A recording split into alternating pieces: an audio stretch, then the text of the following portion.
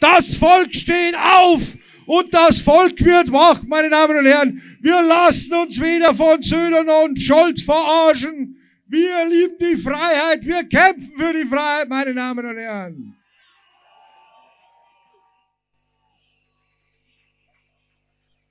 Wir lassen uns weder zu impfen zwingen und sonst irgendwas anderes zwingen. Impfen ist eine freie Entscheidung und muss eine Freiheit bleiben. Wir leben nicht in Nordkorea, wir leben in Deutschland, meine Damen und Herren.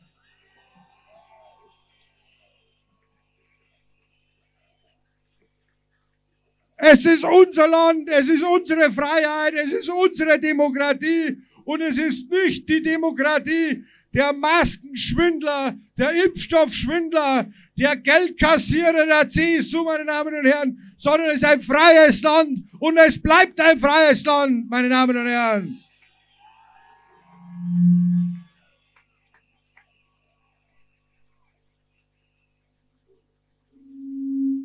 Ich hab gerade schnell mein Handy wickeln müssen, weil jetzt, wenn das Glitten hat, dann hat's wup gemacht da drin im, im Mikrofon. Na, ich find's einfach nur saugeil, wie viele Leute das da haben, wie viele Leute das endlich wach werden, wie viele Leute das kapiert haben, dass sie uns einfach nur verarschen da oben, die Großkopfern. Die machen mit uns nur was wollen. Nein, wir lassen uns nicht mehr spalten in rechts, links, oben, unten, hinten und vorne, sondern wir kämpfen für unsere Freiheit auf der Straße und in den Parlamenten. Wir sind da für euch, meine Damen und Herren.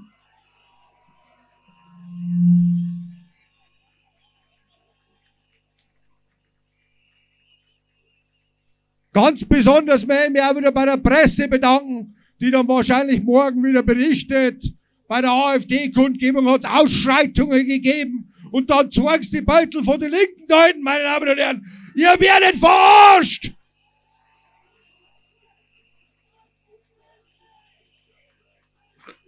Wir sind das Volk! Wir sind das Volk! Wir sind das Volk! Wir sind das Volk!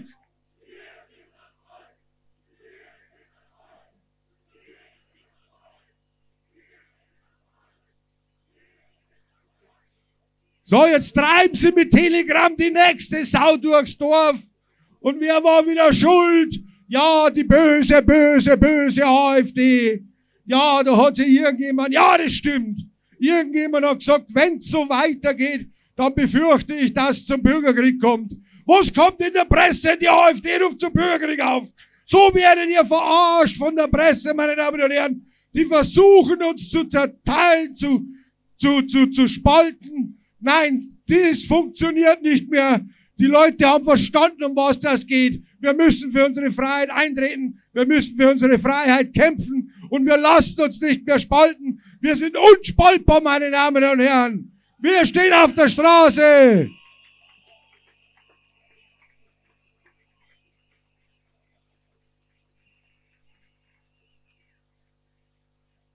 Da sitzt du im Bundestag drin, dann sagst du an so ein so ein Lügenpresse. Das möchte ich nicht sagen, weil das ist ja, Lügen ist ja Absicht, aber ich glaube, manche haben so dumm und glauben das, was die da berichten. Ähm, es, nein, es ist wirklich so, da braucht es nicht lachen. Manche, vor allem wenn es den Bundestag, man sitzt und sagst dann so Politiker wie ein Lindner, eine Impfpflicht wird es nicht geben, das ist nicht verhältnismäßig. Ein Klauterbach, der sagt, na, Impfpflicht wird es nie geben. Oder ein Scholz, na, mit uns wird es keine Impfpflicht geben. Ich bin einmal gespannt, wie viele Wähler in zwei Jahren zur Landtagswahl in Bayern wieder so dumm sind und lassen sich spalten.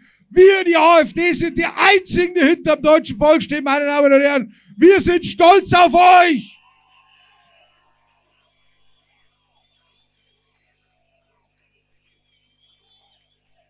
AfD, AfD, AfD.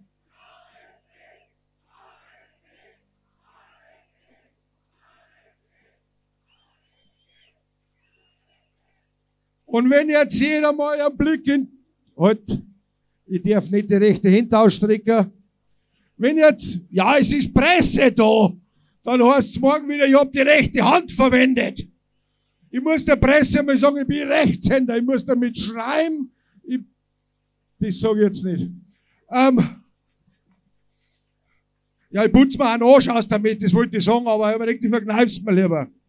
Wenn man in die Richtung guckt, da haben die angeblichen Antifaschisten, die demonstrieren gegen Leute, die Banner in die halten, für unsere Freiheit, stoppt Söders Corona-Regime, Zwangsimpfung ist gleich Diktatur, mein Körper, mein Recht. Das sind alles Freiheitssachen. Und die drüben, die da drüben unterstützen das faschistische System der Altparteien, meine Damen und Herren. Und das muss man ja einmal sagen.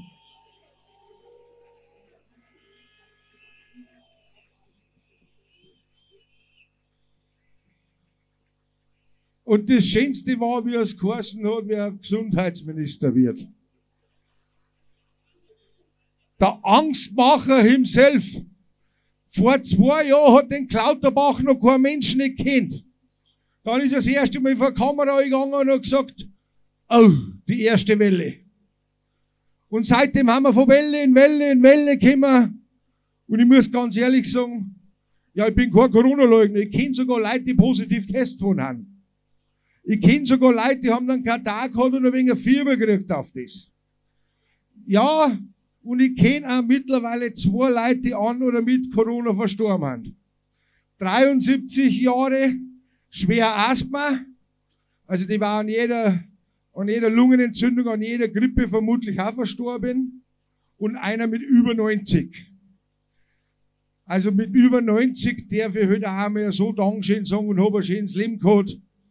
Also, das war was anderes gewesen. Aber haben wir uns einmal ehrlich, wir haben in Deutschland jedes Jahr 300.000 Leute, die an Krankenhauskeimen erkranken. Und wir haben jedes Jahr 30.000 Tote durch Krankenhauskeime. Jetzt, wenn's das jeden Tag im Fernsehen bringt, liebe Presse, dann geht in einem halben Jahr keiner mehr ins Krankenhaus, weil er Angst hat davor. Macht halt die Leute keine Angst nicht.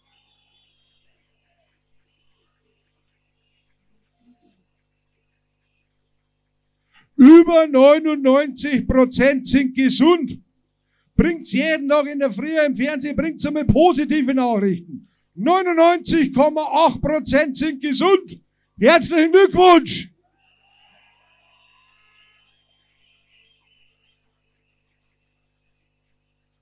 Aber die machen Politik nur mit Angst. Ihr müsst jeden Tag Angst haben. Weil mit Angst lässt sich gut Politik machen. Mit Angstlosen sind Leute in die Enge treiben. Mit Angstlosen sind Leute daheim einspielen. Nein, wir brauchen keine Angst nicht haben. Von was? Weder der Klimawandel wird uns umbringen, noch Corona wird uns umbringen, oder alles andere, was in Zukunft kommt, wird uns auch nicht umbringen. Aber was uns umbringt, ist, wenn wir der, Politik weiterhin glauben, weil dann haben wir kein freies Deutschland mehr, meine Damen und Herren. Dann enden wir in der DDR 2.0. Und das muss mir gesagt werden.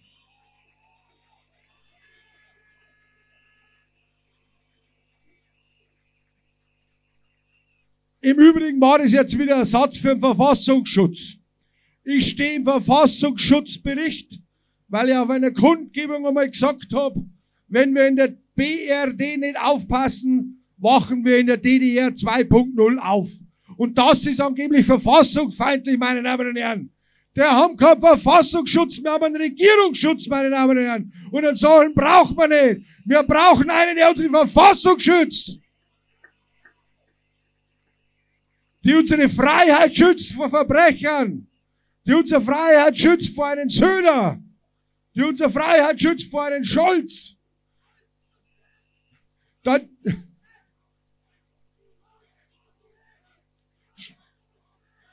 Scholz muss weg! Scholz muss weg!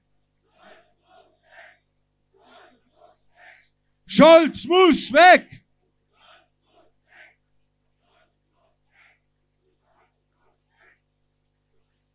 Ja, ich habe gerade umgeschaut, wie weit der Kindergarten da hinten schon ist. Also, ich habe ja tatsächlich einmal vier geschaut. Aber ich muss immer wieder sagen, na ja, wenn man jung ist, muss man ein wenig ein rotes Herz haben. Und wenn man dann die erste Lohnabrechnung kriegt, dann ist gleich wieder vorbei mit dem roten Herz. Also, das sind ja die Alimentierten da hinten, die entweder vom reichen Papa und Mama leben oder von irgendwelchen Steuern leben.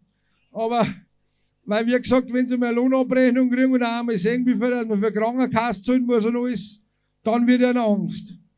Na, meine Leute, wir haben keine Krankenhauskrise, weil zu viele Leute krank sind, sondern wir haben eine Krise, weil wir die letzten 20 Jahre eine beschissene Politik hatten, die unser Krankensystem, unser Gesundheitssystem kaputt gespart hat, meine Damen und Herren.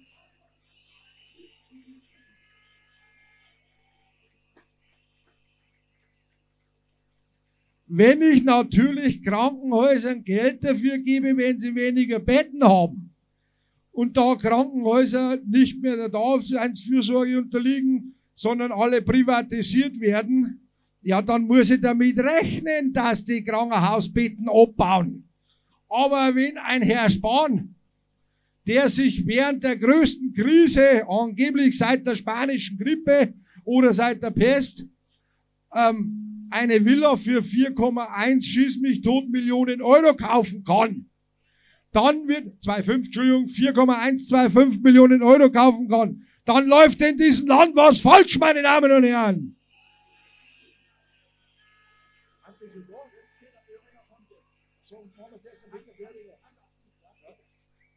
Also, meine Damen und Herren, ihr werdet mir heute noch das eine oder andere Mal hören, ich muss mir noch den einen oder anderen dummen Spruch aufheben und jetzt wieder einfallen lassen. Haben wir, muss ja zwischendurch. Wir haben jetzt zwischendurch noch mehr Musik und dann kommt, dann hört unseren Spitzenkandidat zur Bundestagswahl diesen Jahres, der als Spitzenkandidat eingezogen ist, an Peter Böhringer, meine Damen und Herren. Aber jetzt glaube ich, spielen wir zuerst noch ein Liedl, weil wir müssen natürlich wieder alles desinfizieren, weil das Desinfektionsmittel hilft nämlich gegen Bakterien, aber wir kämpfen gegen Viren. Aber wenn es Auflage ist, dann macht man es halt einfach. Dankeschön fürs Aufpassen zuerst einmal.